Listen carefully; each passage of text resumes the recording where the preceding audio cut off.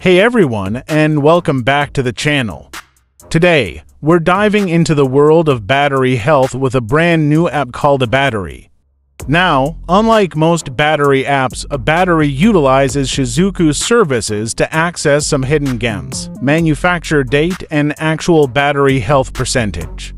What makes aBattery different? Most battery information apps just show you the basics, charge level, estimated time remaining. But aBattery goes deeper. It leverages Shizuku to access the hidden world of battery statistics. This can include manufacturing date. Ever wonder how old your battery is? This can be a valuable data point for gauging potential performance decline. Battery health percentage. This is the golden nugget.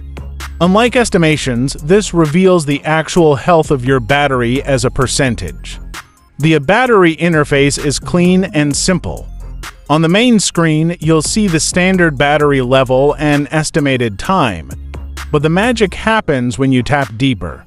Here, depending on your device and OEM restrictions, you might see the manufacturing date. This can be helpful for gauging battery age and potential performance limitations. Battery health.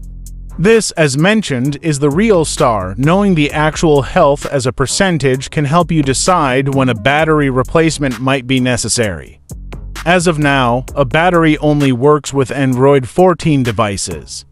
This app relies on Shizuku services, so make sure you have that set up beforehand. Some phone manufacturers might block access to this detailed battery information.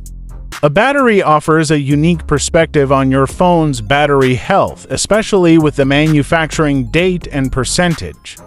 Thanks for watching. Let us know in the comments below if you've tried aBattery and what you think.